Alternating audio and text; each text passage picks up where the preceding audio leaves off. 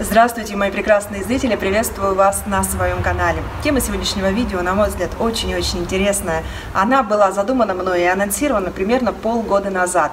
И многие даже помнят фотографию на моем сообществе, возможно, можно вернуться и посмотреть, я не знаю, как, каким вы видите сообщество, которое, э, которое я создаю своими фотографиями, точнее фотографиями, которые я публикую. Там была девушка, которая, находила, которая находилась напротив кафе Педроки, знаменитого кафе. На ней была леопардовая, леопардовая шуба, и на ней были такие прям такие явные, явные, возможно, с какой-то фурнитурой, эта фотография, к сожалению, не сохранилась, а, сапоги и какие-то, возможно, штаны достаточно широкие, заправлены в, этом, в, это, в эти сапоги, как раз-таки этот образ и навел меня на мысль о том, что иногда в собственной одежде можно выглядеть как городская сумасшедшая. Но именно эта девушка заставила меня понять, точнее помогла мне понять, а, что нужно делать и чего не нужно делать, чтобы а, городской сумасшедший не выглядеть. И все очень-очень просто. На самом деле все, на мой взгляд, предельно просто. Есть хорошая новость и есть не очень хорошая новость. Давайте я начну с хорошей новости. Пусть каждый из вас представит себе городскую сумасшедшую. Кстати, по поводу городских сумасшедших.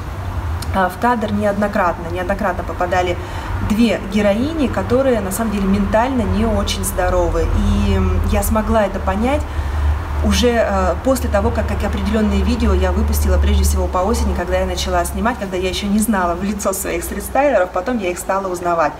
И одну героиню, она прямо-таки явно была в моем кадре, в одном из стрит-стайлов, просто потому что я на самом деле на монтаже пропустила этот момент. И был оставлен один комментарий по поводу макияжа этой э, сеньоры, но на самом деле этот момент я пропустила, потому что я снимала группу других итальянок, а эта сеньора, она прошла, скажем так, и попала очень явно в кадр. А на монтаже я была настолько э, сориентирована и сфокусирована на своих героинях стрит-стайла, которых я и снимала, и которых я комментировала, что этот кадр я на самом деле пропустила. Обычно я стараюсь подобные вещи все-таки не вставлять. Кстати, меня спрашивают, почему нет беременных на стрит-стайле. Я тоже стараюсь не снимать беременных, э, и если я вижу, что я сняла беременную девушку, ну, скорее всего, она не попадет, не попадет в кадр точнее, не, не попадет в итоге в окончательную версию моего видео. И что я хочу вам сказать, дорогие зрительницы. То есть я на самом-то деле встречаю людей, про которых можно сказать, ты городская сумасшедшая, потому что у этих героинь есть определенные ну, ментальные, наверное, проблемы со здоровьем.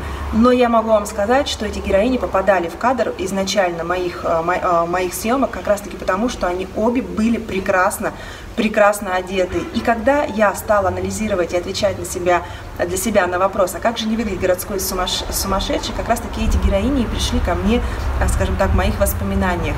Представьте себе городскую сумасшедшую, представьте себе самый нелепый наряд, дорогие зрительницы.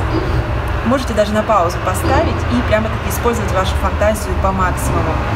Я записываю перед открытым окном, потому что очень пасмурно, очень темно, и мне пришлось добавить света в кадр, открыв окно. Возможно, вы слышите шум проезжающих машин. Итак, вы представили а теперь сделайте один интересный трюк. Представьте, а, не знаю, прямо-таки голову а, к этому образу, представьте голову, ну не знаю, какой-нибудь модели Виктории Секретс. У нее развиваются волосы, у нее шикарный макияж, ну она всегда прекрасна, модель Виктория Секретс. Представьте и приложите ее вот к тому нелепому образу, который для вас является олицетворением городской сумасшедшей. А теперь сделайте то же самое, но представьте на месте головы человека, которого вы представили в этом образе, совершенно лысую женщину. Лысую женщину. Добавьте туда черные губы, не знаю, добавьте черные ногти. Кто из, а, кто из этих героинь для вас будет городской сумасшедший?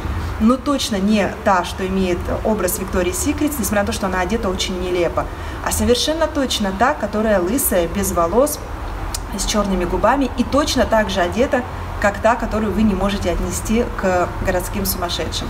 Вы знаете, дорогие зрительницы, я пришла к выводу, возвращаясь опять же к девушке, которую я сняла напротив кафе Педроки, она была очень нелепо одета. И как многие часто мне пишут, Яна, но ну, некоторые образы, они на грани трэша, на грани действительно городской сумасшедшей. Я с вами соглашусь.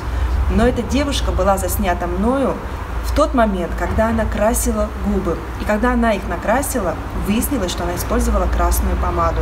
И вот здесь для меня все встает на свои места. Я считаю, что невозможно выглядеть городской сумасшедшей в любом, в абсолютно любом наряде, если у нас присутствуют так называемые женственные маркеры. Это может быть Хороший маникюр классический, нюдовый, либо ярко-красный, никак не черный. Но это не значит, что с черными ногтями мы будем тут же выглядеть городской сумасшедший. Нет, мы говорим об одежде, которую мы можем носить таким образом, что будем выглядеть определенно, либо как городская сумасшедшая. Итак, что такое женственные маркеры для меня?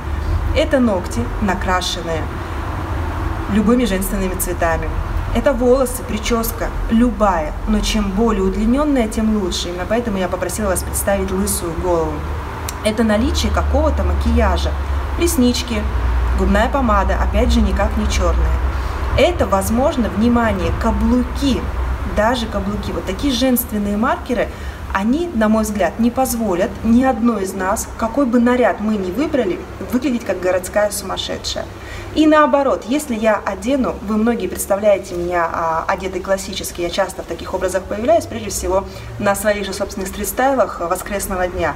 Обычно я ношу каблук, обычно я ношу, когда холодный период, сапоги, а на мне тренч либо пальто, и вот такая прическа, как сейчас. Все очень спокойно. Представьте меня лысой.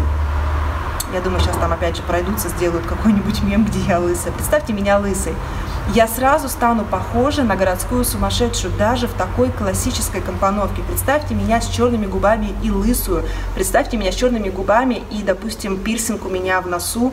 И, от пир... и знаете, такие, такой есть пирсинг, который от носа идет вот сюда. Но сейчас точно кто-нибудь там, ну, мы сами понимаем, кто мем сделает подобный. И вот такой вот пирсинг. Я буду выглядеть даже в своей классической одежде, как городская сумасшедшая. Потому что чем дальше мы от женственности, тем больше мы рискуем выглядеть на грани. А, прежде всего, играя со своей одеждой, со своими образами, используя яркие цвета, используя какую-то, используя какую-то необычную фурнитуру, сочетая несочетаемое. Поэтому это была моя хорошая новость. Я думаю, что очень многие легко могут выглядеть женственными, это значит, что чем более смелый наш образ, тем более женственно мы должны выглядеть при помощи прически, макияжа, маникюра, возможно, обуви и так далее. Плохая новость. Плохая новость, дорогие зрительницы. Если вы живете в большом городе, тем более, если вы живете в большом городе европейском, либо вы живете в Канаде, очень много у меня зрительниц из Канады, большой привет Канаде, либо вы живете в Америке, на самом деле в любом большом городе, где бы вы ни жили, а, тем более в странах, отличных от постсоветского пространства, скорее всего, вы столкнетесь с очень большим градусом толерантности к тому, как вы одеты. И вы никогда не будете выглядеть сумасшедшей, а, городская, городская, точнее, сумасшедшая, что бы вы ни надели.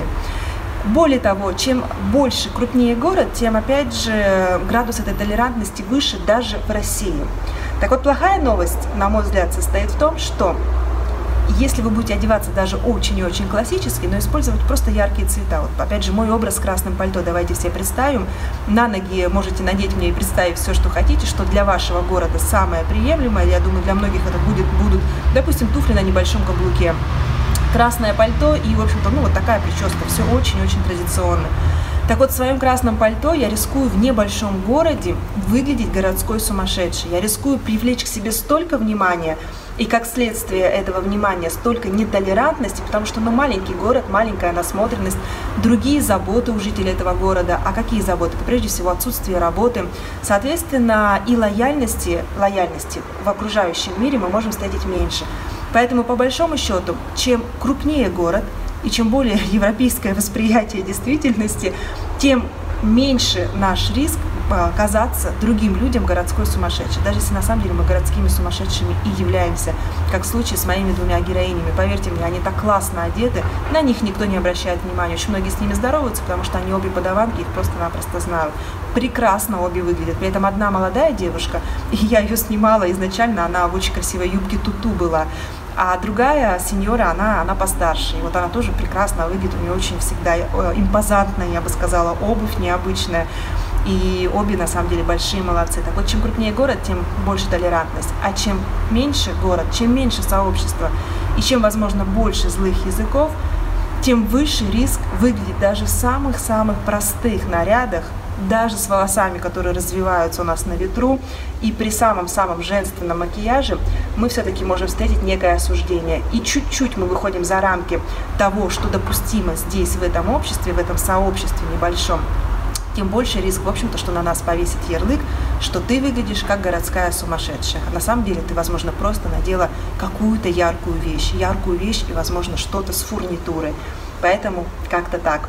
Что ж, дорогие зрители, я искренне надеюсь, что а, это видео было для вас полезным. Я искренне надеюсь, что именно это видео также сня снимет с вас, возможно, некие запреты, которые у вас существуют, прежде всего в вашей в вашей голове, что нельзя носить одно, нужно сочетать вот таким образом. Повторюсь, современная мода, она очень и очень лояльна. И очень часто то, насколько комфортно мы будем себя ощущать в той или иной одежде, зависит от нашего восприятия самих себя, но и также от того общества, насколько оно толерантно, в котором мы живем. Желаю всем встретить э, сталера, всем своим зрителям, всем своим зрителям я искренне желаю некой толерантности вокруг и, конечно же, фэшн-смелости и желания наряжаться. Если желание такое есть, то навыки, они придут достаточно быстро, поверьте моему опыту. На этом с вами прощаюсь. Это была Яна Скворцова. Всем пока-пока.